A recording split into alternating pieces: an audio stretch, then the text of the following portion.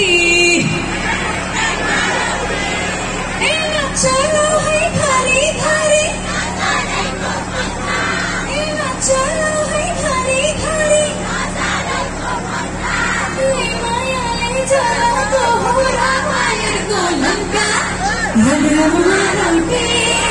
Run it up and run